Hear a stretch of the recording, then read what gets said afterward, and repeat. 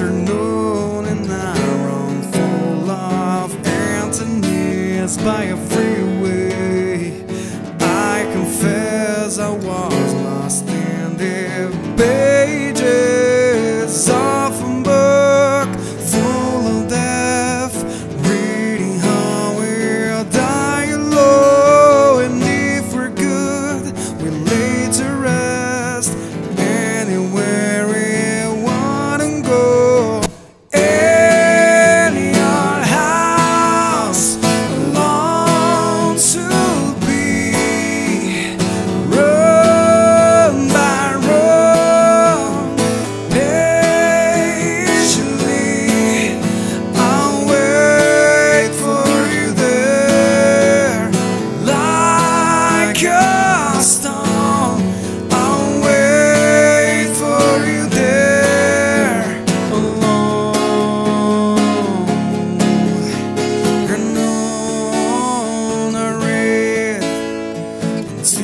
De.